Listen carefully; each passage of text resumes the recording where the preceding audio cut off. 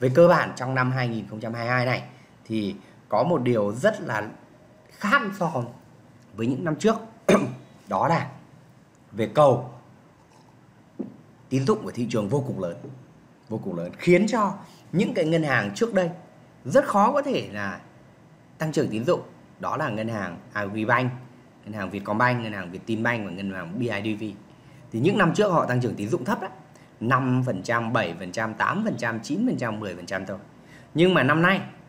do cái cầu rất cao, thế thành ra những cái ngân hàng đó được tăng trưởng tín dụng rất lớn.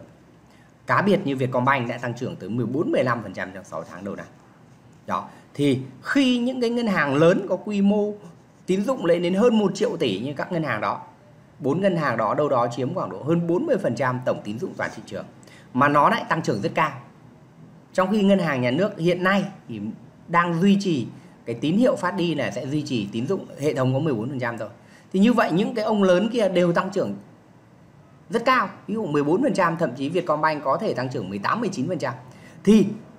cái phần còn lại của các cái ngân hàng kia sẽ không thể được tăng cao như trước.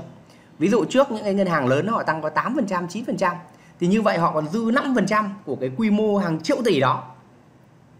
phân bổ cho những cái ngân hàng thương mại của phần tư nhân thì các ngân hàng thương mại của phần tư nhân có thể tăng trưởng tín dụng từ 20 đến 30 phần trăm. Cá biệt ví dụ như VIB, Tiên Phong Bank và MSB có năm tăng trưởng 30 phần trăm Và năm ngoái đều tăng trưởng hai mấy phần trăm. Nhưng năm nay thì không có chuyện ý nữa rồi. Đó, chính vì thế thì chúng tôi cho rằng là MSB và VIB sẽ tăng trưởng tín dụng không được cao và cái ưu tiên tăng trưởng tín dụng cao năm nay thì là ưu tiên vào những cái ngân hàng thực hiện các cái trách nhiệm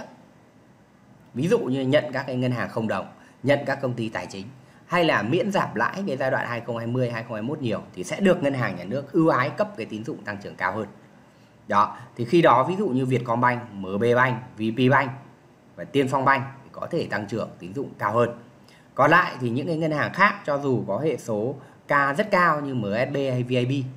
và có cái uh, chất lượng cho vay ra là chủ yếu khách hàng cá nhân như VIP chẳng hạn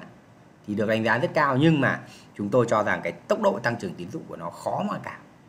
nếu mà ngân hàng nhà nước giữ ở 14% toàn hệ thống thì hai ngân hàng này khả năng cao tăng trưởng tín dụng cũng chỉ quanh ở cái mức 14%, 15% mà thôi. Còn nếu mà ngân hàng nhà nước quyết định lấy tăng trưởng tín dụng lên 15, 16% thì hai ngân hàng này có thể tăng trưởng cao hơn. Cao hơn. Thì như đầu năm thì MSB thì đặt kế hoạch là tăng trưởng tín dụng 25% nhưng chúng tôi cho rằng là nó có thể chỉ đạt mức 15% thôi. Còn VIB tương tự như thế cũng chỉ đạt ở mức đó thôi.